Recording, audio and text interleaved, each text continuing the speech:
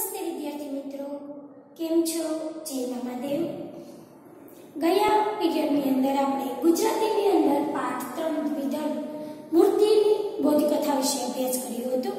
આજે આપણે એ જ પાઠની અંદર દ્વિદલનો બીજું પુષ્પ એટલે કે સ્વમૂલ્યાંકન વિશે આજે આપણે અભ્યાસ કરવાનો છે. વિદ્યાર્થી મિત્રો, સ્વમૂલ્યાંકન એટલે શું સ્વ એટલે આપણે પોતે મૂલ્યાંકન એટલે કસોટી આપણે આપણે જ કસોટી કરીએ છીએ એને સ્વમૂલ્યાંકન કહેવાય છે એમાં એક નાનો એવો છોકરો છે એની આ સ્વમૂલ્યાંકન બતાવેલું છે પરદેશની વાત છે પરદેશ એટલે કે આપણા દેશની બીજાના દેશની વાત છે.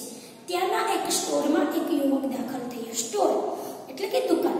ત્યાં એક દુકાનની અંદર એક યુવક દાખલ થઈ છે.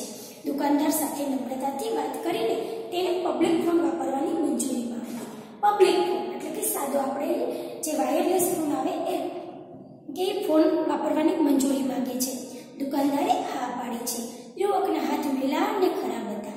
જે યુવક ફોન વાપરવાની મંજૂરી માંગતો હતો, એના હાથ છે એ ખરાબ હતા. તો તેણે શું કર્યું? એટલે કે એ સ્પીકર ફોન પર વાત કરતો હતો અને એને ફોનને અડ્યો ને સ્પીકર બાજુમાં મૂકી અને તે વાત કરતો હતો. અન્ય કોઈ ગ્રાહક એ સમયે સ્ટોરમાં હાજર ન હોવાથી દુકાનદાર એની વાત ધ્યાનથી સાંભળી રહ્યો હતો. બીજું કોઈ ગ્રાહક દુકાનમાં ગ્રાહક આવે એટલે ગ્રાહક એક કોઈ હતો નહીં એટલે જે દુકાનદાર છે એ યુવકની વાત છે એ ધ્યાનથી સાંભળતો હતો. તો સામા છેડેથી કોઈક સ્ત્રી વાત કરી રહી હતી અને જે યુવકે ફોન કર્યો હતો એ ફોન જે છે એ સ્ત્રીની સાથે વાત કરી રહ્યો હતો. યુવકે કહ્યું કે, મેડમ, તમે મને તમારે ત્યાં લોન કાપવાનું કામ આપી શકો ખરા? પ્રશ્ન પૂછે છે. યુવક છે એ સામે સ્ત્રીને ફોનમાં પ્રશ્ન પૂછે છે કે, મેડમ, તમારે ત્યાં મને લોન કાપવાનું કામ આપી શકો લોન એટલે કે નાનું નાનું ઘાસ જે છે એ સામે છેડેથી સ્ત્રીએ અવાજ આવ્યો નહીં ભાઈ લોન કાપવા માટે મેં માણસ રાખી લીધેલ છે સામે છેડેથી અવાજ આવે છે કે નહીં ભાઈ મારે ત્યાં કાપે છે. એ માણસ તો મેં રાખી લીધેલો છે લોન કાપવા માટે. યુવક બોલ્યો, મેડમ, અત્યારે તમારે ત્યાં રાખેલ માણસ જે પગાર આપતા હોય, એના કરતાં અડધા પગારેથી હું લોન કાપી આપીશ તમે જે અત્યારે માણસને પગારેથી રાખેલો છે, એના અડધા પગારથી હું તમારી લોન કાપી આપીશ. સામે છેડેથી સ્ત્રીએ કહ્યું, ના ભાઈ લોન કાપવાનું કામ જે માણસ કરે છે, તેનાથી મને કોઈ જ ફરિયાદ નથી. મેડમ કહે છે કે જે મારે ત્યાં કે લોન કાપવાનું કામ કરે છે એ માણસ ઉપર મને જરા પણ ફરિયાદ છે નહીં યુવકે કહ્યું મેડમ લોન કાપવાની સાથે હું ઘરની આજુબાજુનો રસ્તો પણ સાફ કરી આપીશ એ પણ કોઈ વધારાની રકમ વગર પાછો યુવક કહે છે, મેડમને, કે મેડમ લોન તો હું કાપી આપીશ, પરંતુ આજુબાજુનો જે રસ્તો છે, એ પણ સાફ કરી આપીશ. એમાં પણ તમારે એક રૂપિયાની કઈ જરૂર પડશે નહીં કે નહીં આપવી પડે અને હું રકમ વગર પણ સાફ કરી આપીશ. પેલી સ્ત્રીએ જવાબ આપ્યો, ના ભાઈ, આભાર. આટલું બધું ફોનમાં વાત કરે છે, ત્યારે સ્ત્રી કહે છે, ના ભાઈ, આની મારે કોઈ જરૂર નથી, તારો આભાર. મને હમણાં બીજી કોઈ વ્યક્તિની જરૂર નથી. મેં પેલા માણસથી મને પૂરો સંતોષ છે? કે મને વ્યક્તિની જરૂર નથી જે મારી પાસે આવે છે કામ કરવા. એ નથી મને પૂરેપૂરો સંતોષ છે.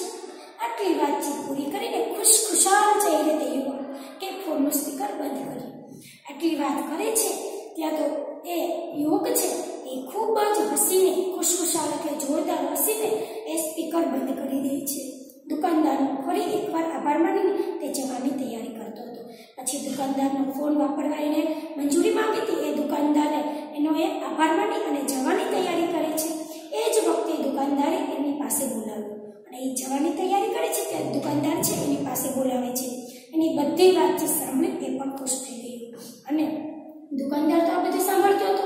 એની આ વાતચીત સાંભળી અને દુકાનદાર રાજી થઈ ગઈ પેલી સ્ત્રીએ કામ આપવાની ના પાડી, છતાં લોકના ચહેરા ચહેરા ઉપર એક કઈ પ્રકારની નિરાશાની ભાવ દેખાતો ન હતો. એ જરાય ઉદાસ પણ નહોતો ટૂંકમાં એની ખુમારી મને સ્પર્શી ગઈ એટલે એની જે ખુમારી કે જે હતી મંજુ એની પાસે મંજૂરી એ એને સ્પર્શી જાય છે. યુવક પાસે આવ્યો એટલે દુકાનદાર કહ્યું યુવક, પેલી સ્ત્રીએ કામ પણ ના પાડી, પણ તું ખુશ રહી શક્યો એ વાત મને ખૂબ જ સ્પર્શી ગઈ છે, હૃદયમાં અડી ગઈ છે કે તે પેલી સ્ત્રી તારે કામની જરૂર છે, પેલી સ્ત્રીએ ના પાડી, તો પણ તો છતાં આટલો બધો ખુશ છે. એની તને તે વાત ઉપરથી મને હૃદયમાં સ્પર્શે છે. એને ભલે ના પાડી પરંતુ હું તને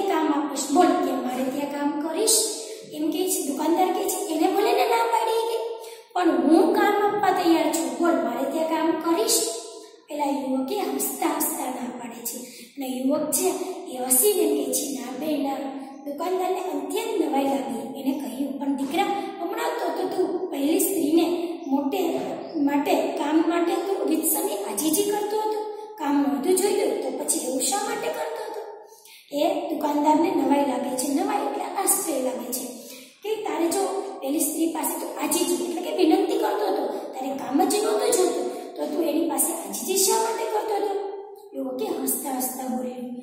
સર, હું જ એ મેડમને ત્યાં કામ કરું છું. કે નહીં સર, હું જ એ મેડમને ત્યાં કામ કરવા જાઉં છું કે બીજો કોઈ નથી, પણ હું જ એના ઘરે કામ કરવા જાઉં છું.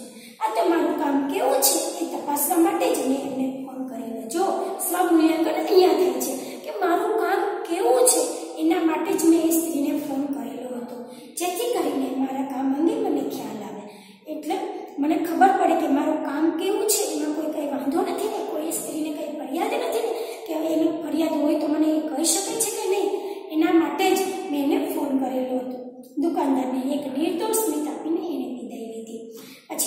બજારને સરસ મજાનું નાનું એવું હાસ્ય આપી અને એ નીકળી જાય છે. દુકાનદાર એને તો જોતો જ રહી ગયો. ક્યાં સુધી ગયો? એ યુવકની સ્વામિનારાયણની રીતને બિરદાવતો રહ્યો. પછી દુકાનદાર છે, એ છોકરો જાય છે, ત્યાં સુધી જોતો જ રહે છે અને પોતાએ કરેલું સ્વમૂલ્યાંકનને બિરદાવતો રહે છે. તો વિદ્યાર્થી મિત્રો, આપણે આજે સ્વમૂલ્યાંકન એટલે કે આપણે પણ એક આપણા ઘરે કેવું કામ કરીએ છીએ, શું કરીએ છીએ, એનું આપણે જ આપણે રહેશે